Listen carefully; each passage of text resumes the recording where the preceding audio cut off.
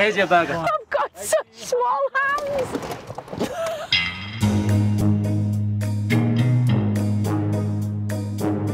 Litter is everyone's problem.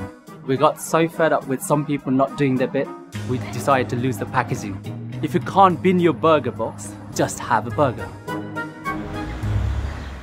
Hello, Good afternoon, welcome to McDonald's. can I get a Big Mac meal? Diet Coke. Six nuggets and fries. Some veggie dippers and a strawberry milkshake as well.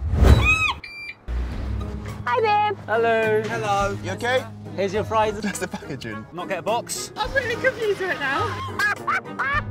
Is there not like a box? No, there's no box. Oh my god, how am I gonna take this in? Where's the bag? Hey, this guy's joking. I've got such small hands. And here's your burger. Thank you. Have a good day. Yeah, thanks. Where's mine? What's? Don't just eat out of your hands like that. What are you oh, doing? What else am I going to eat How am I gonna eat this? I feel like you made a very good plate. Do you know what? I've been called worse. It really winds me up when you just see people chucking their litter onto the pavement. We didn't get a milkshake, Oh my god, I'm so pleased. but I can't imagine that being very easy. It's not ideal, but I get it. I'm not entirely convinced just giving it to you straight in your hands is the best way, but it's good to see McDonald's doing something to tackle the litter issues. McDonald's have just announced a new partnership with Litter Lotto.